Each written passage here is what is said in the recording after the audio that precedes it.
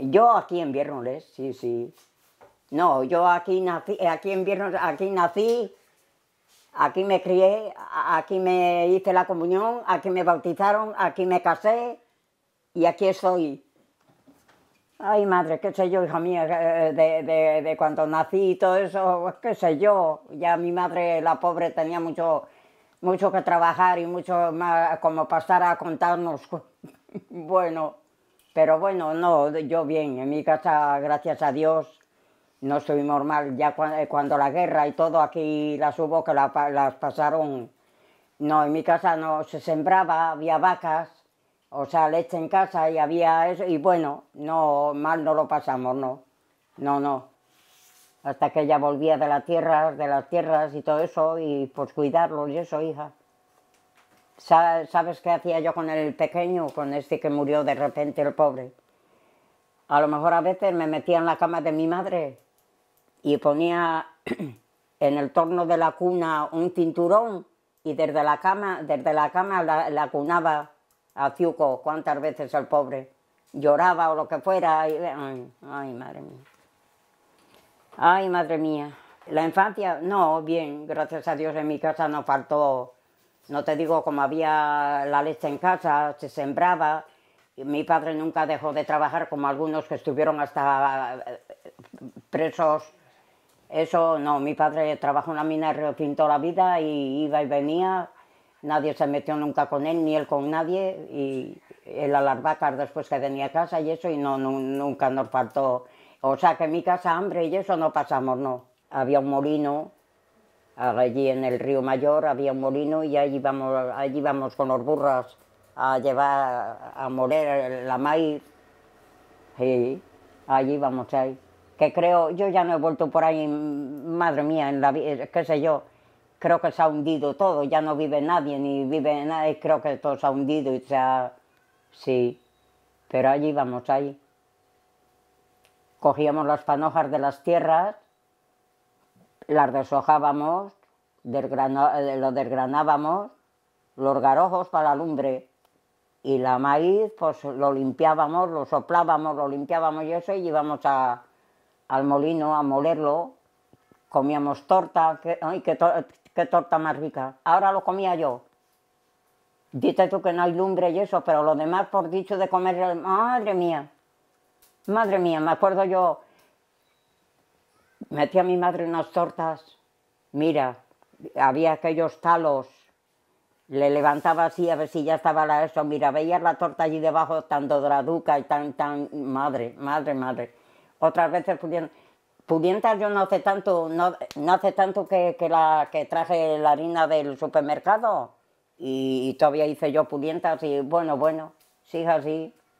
Oh, a mí me encantaban, igual las tortas que las pudientas me encantaban. Mm.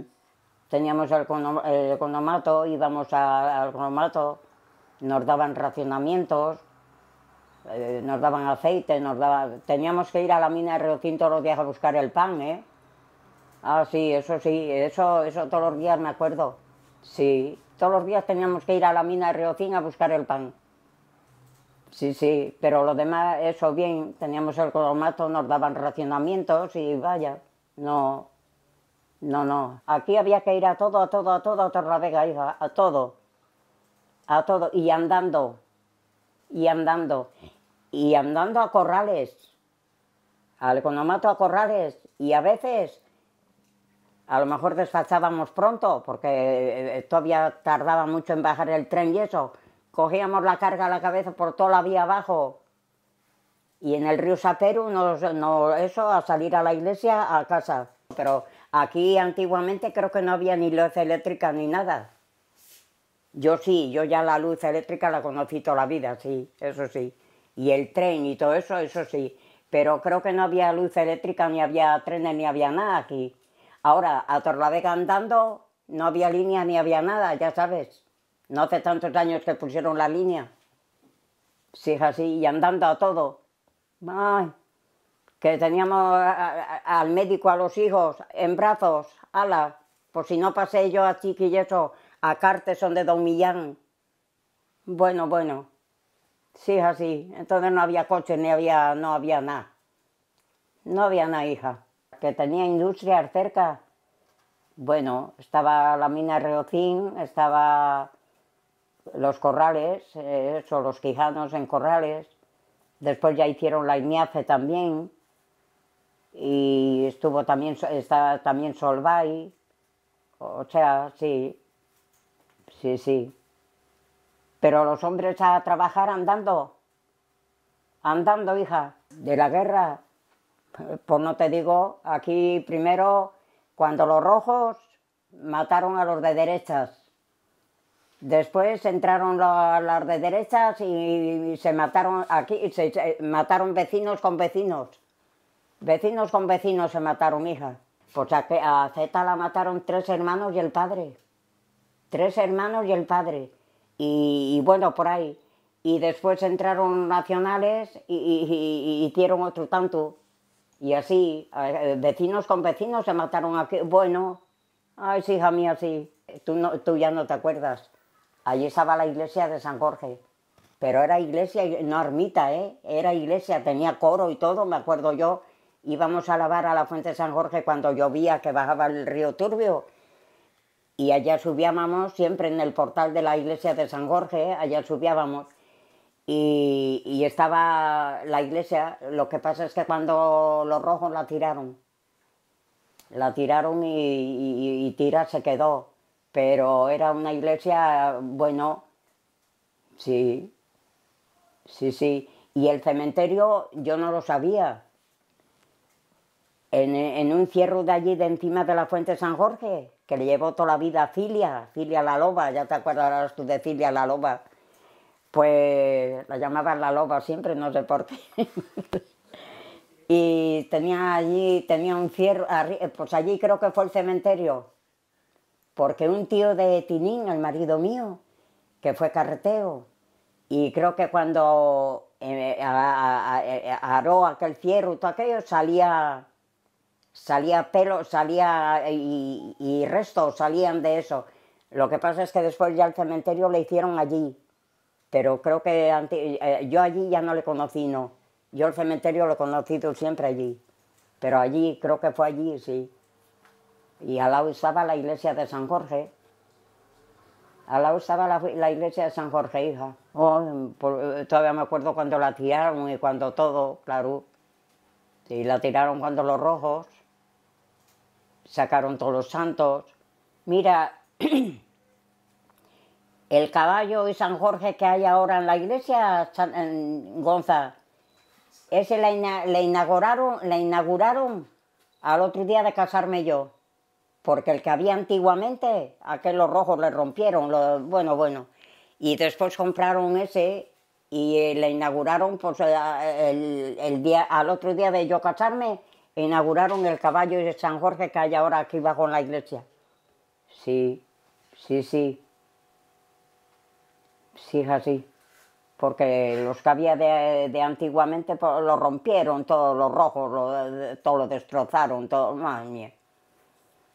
Y después pues eso, entraron los nacionales y, y también mataron, y así, así, así, así. Cuando venía la aviación, venían los aviones, ay, cuántas veces teníamos, ¿sabes qué hicimos una noche mi padre y, todo eso?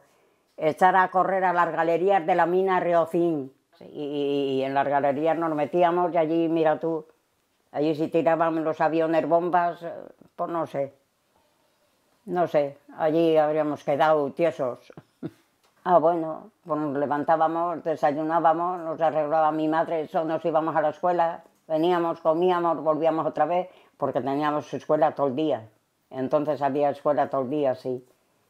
Y, sí, sí. Y eso, hija. ¿Que a jugábamos? Ah, ¿Cuántas veces hay en el corral con una teja al castro?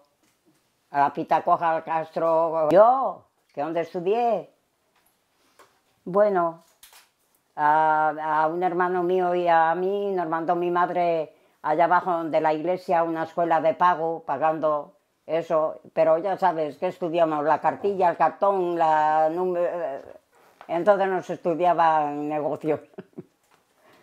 entonces nos estudiaban negocios, hija. Por la mañana nos daba escuela un hijo, de pagando, ya sabes.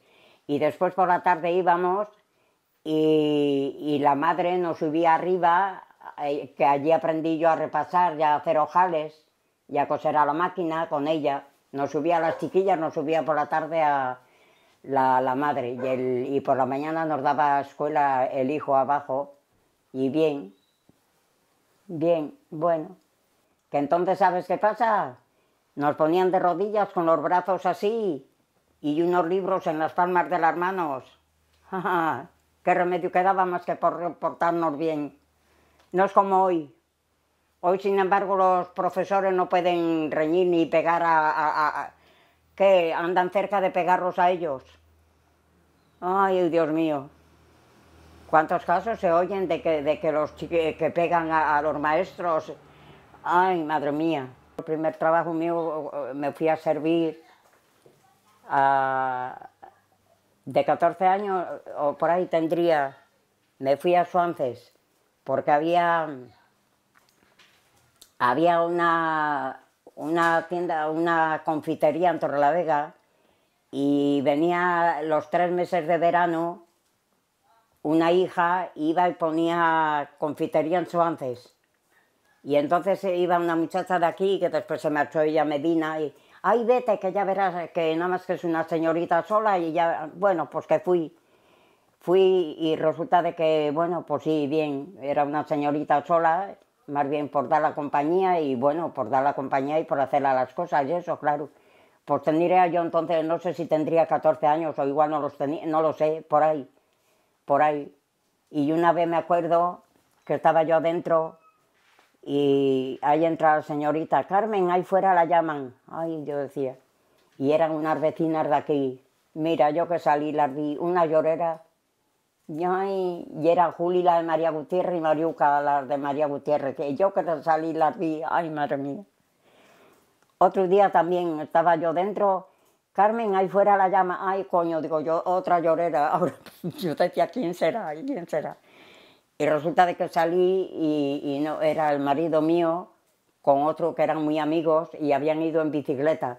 Pero yo entonces ni, ni él ni yo, válgame Dios, pero ya ese día ya me vio, ya cuando se vino él ya venía con la cuenta de yo no, yo me quedé tan pues sí, y después ya vine, me vine y ya empecé a, ya empezamos porque él vivía ahí y yo allí pegando las casas y, y todos ya estábamos juntos eso y ya después me fui a servir a Torlavega ya me fui ya de, de, de, hecho, claro, ya hasta que me casé estuve sirviendo.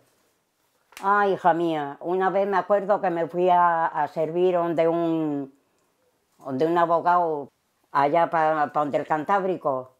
No duré más que un mes por cobrarle porque mira, la gracia es que estaba la señorita eh, que parecía yo, la señora yo, y no ella, porque, porque no varía ni lo que costó bautizarla, pero era, olía hasta los cacharros, eh, bueno, y como era, era, era abogado, era claro eso, por la tarde otra vez la consulta, y entonces no había eso, había que brochar la cera a mano, a pie, con las bayetas y venga, en esta pierna, en este pie se me formó una, una vejiga que no podía casi ni andar. Y al mes en cuanto le cobré me vine, porque, porque no había quien la aguantara. Madre mía, madre mía. Y, no, después ya estuve en otra casa que ya está, ahí ya, me, ya estaba mejor, sí. Y entonces no había comodidad de nada. Brochar la, la cera a pie, con la valleta debajo del pie, y venga a limpiar el polvo y venga, bueno, bueno. Entonces no había comodidad de nada, hija. Así que yo no cobro más que la viudez. Porque cuando yo estuve sirviendo y todo eso no había seguros, no había... Bueno, aquí algunas fueron ahí a las caldas, a la fábrica de tejidos, a las caldas, y de momento no, pero después ya las pusieron un seguro. Estuve sirviendo hasta que me casé, después ya me casé, gracias a Dios, la mar de bien. Gracias a Dios tuve una suerte loca.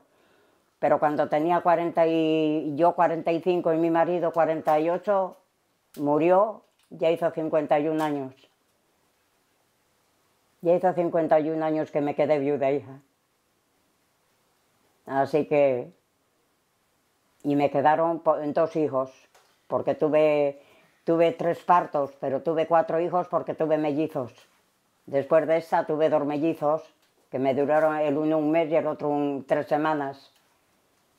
Y eso, pero después ya me quedé con estos dos y estos dos, que ya murió también, el hijo ya murió también. Así que no tengo más que esta.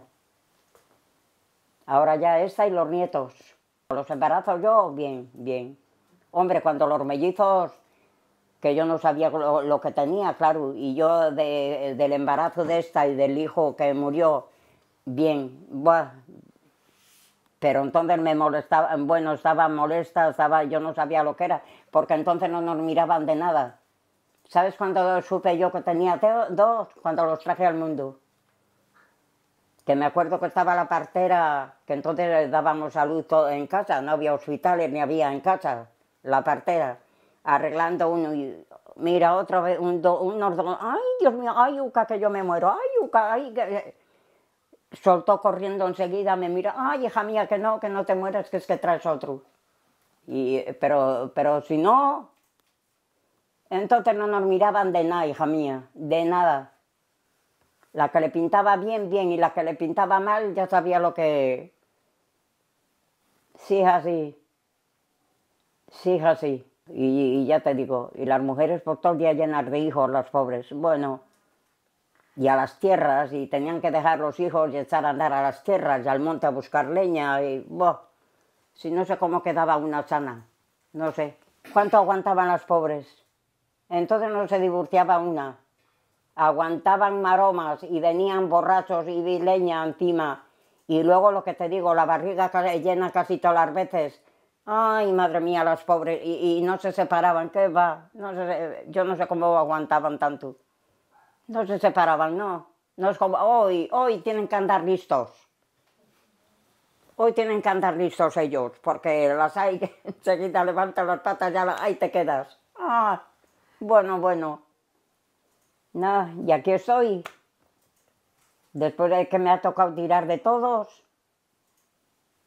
Y ya no quedo más que yo. Y después, pues la verdad, ya hizo 51 años que me quedé viuda. Me ha dado la vida para todo. Al cabo ya de una pila de años eso, empecé a ir a las excursiones de la tercera edad. He ido a las excursiones de la tercera edad, eso. Y bueno, por bien, gracias a Dios, bien sin olvidarle, porque todo el día le tengo aquí, ¿eh? todavía es el día de hoy que, que le tengo aquí, pero bueno, ya el tiempo te lo va... Porque cuántas veces he cansado yo decía, madre mía, yo que, que, nunca pensé de volver a ser más mujer, porque yo me llevé tres o cuatro años, madre mía. Pero después ya el tiempo te lo va, te va calmando la cosa, hija. Ay, Dios mío según ha ido pasando la vida, he ido yo pasando la vida también, o sea, sí, así. Yo lo que no he hecho a nadie, a nadie en ese mundo mal, a nadie. Nadie dirá en el pueblo de Viernes que yo la haya hecho mal. Unos me querrán más, otros me querrán menos, unos hablarán mejor de mí, otros, eh, ya sabes, siempre hay alguno, eh, eh, pero yo que la haya hecho yo mal a nadie, no, ya no. No, al contrario, lo que te digo, siempre si he podido hacer bien, siempre he, hecho todo el bien que he podido. Eso sí que es verdad. Y yo lo digo, y yo lo digo, y yo lo digo, el destino, el destino ya por nacer, yo creo que sacamos el destino. Porque si no, mira, que dicen que Dios, Dios, eh, eh, Dios hace cosas que, que no, no sé. No sé. ¿Por qué me caí yo hace dos meses allí antes y no he mal a nadie, gracias a Dios en buena hora lo diga? ¿Eh? Y, venía con el bastón la mar de bien eso, yo no sé qué me pasó en este pie y pomba, ala, ala, y mira, y así, o sea, eh, bueno, y como eso, 50.000. Ah. Yo digo que el destino, ya por nacer, ya sacamos el destino y ese es el que, Aparte de que yo creo que algo, algo tiene que haber, ¿eh? Algo tiene que haber en este mundo, algo tiene que haber. Ah, que de qué estoy más, de lo, más satisfecha. Hombre, de lo bueno también he tenido mucho bueno, la verdad, igual de una cosa que otra, para que voy a eso. He tenido mucho malo y este eso, pero también he tenido bueno. También he tenido bueno, también, hija. También he tenido bueno, también. Y ahora, por gracias a Dios, por lo que te digo, por bien, estoy con la hija, los nietos,